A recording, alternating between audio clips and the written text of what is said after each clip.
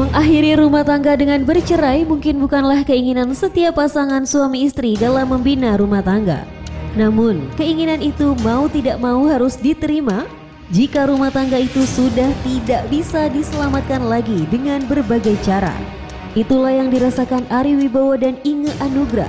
Lantas seperti apa yang terjadi antara Ari Wibowo dengan Inge Anugrah? Good people, inilah sensasi kontroversi.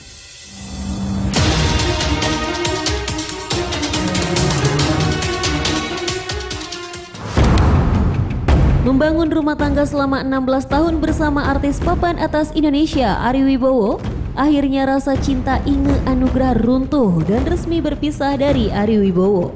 Kalau menurut aku, memang harusnya ngomongin berdua dulu masalah apa pun itu kan.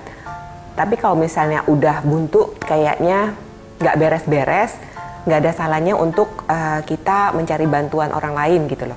Kayak kalau misalnya konseling, konseling, ya. iya konseling mau. Aku udah minta konseling berkali-kali, tapi nggak pernah mau karena memang dia tipenya orang yang tertutup banget dan menjaga privacy banget. Uh, saat itu selalu bilangnya bahwa nggak percaya sama konselor. Meskipun aku bilang ada ini kan uh, confidentiality agreement hmm. yang nggak mungkin keluar gitu. Iya yeah, iya. Yeah. Iya kan. Yeah. Terus tetap nggak beres-beres masalah kita uh, aku ajakin lagi, ajakin lagi. Ada kurang lebih 7-8 kali Maya aku minta, ayo dong, either ke pastor atau ke family therapist gitu, konseling.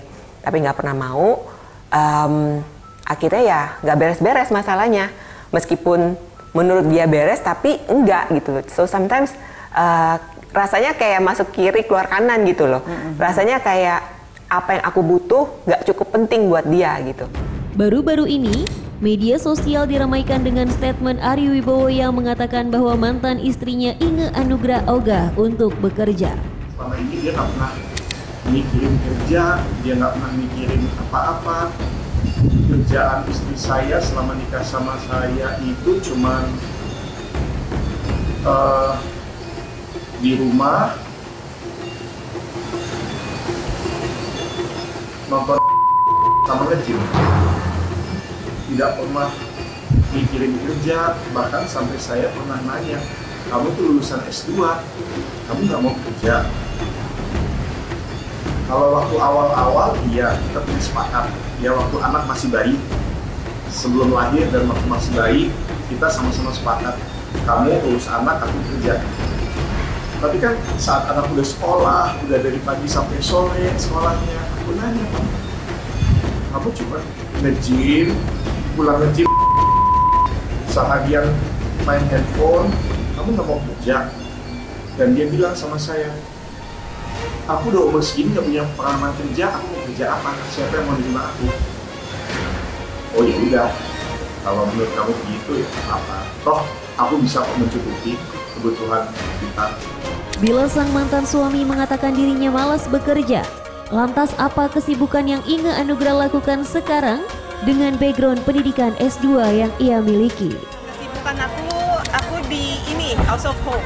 House of Hope ini yayasan yang di mana kita uh, kayak memberikan pendidikan, memberikan grooming, memberikan nantinya kalau anak-anak yang uh, sudah cukup usianya kita salurkan untuk masuk ke uh, marketplace. Jadi ini yayasan yang uh, untuk anak-anak dengan IBK individu bukan khusus. Jadi nggak anak-anak aja. Jadi sampai range usianya ada yang sampai 28 tahun ada di kita. Itu interest karena balik lagi ke edukasi saya. Oh. Edukasi saya kan waktu itu masuknya early yeah. childhood education for kids with special needs. Hmm. Jadi ya in a way balik ke passion aku yang sempat tertunda 17 tahun lalu ya. Menjadi public figure memang tidak akan lepas dari kritikan yang dilemparkan oleh para warganet ke dirinya Merasa terganggukah Inge atas statement yang Ari Wibowo utarakan itu? Enggak, uh, karena yang nge-DM aku mostly orangnya baik-baik kasih support doain aku harus sabar harus bahagia bahwa aku udah melakukan yang benar aku terjadi yang benar jadi mereka baik-baik jika 17 tahun lalu rasa cinta antara Inge Anugrah dan Ari Wibowo begitu kuat, lalu dengan adanya statement mantan suami yang menyebutkan dirinya tidak mau bekerja, adakah rasa kecewa yang begitu besar dirasakan Inge Anugrah? Kecewanya cuma sebentar banget. Karena aku dikasih link pun aku nggak mau buka.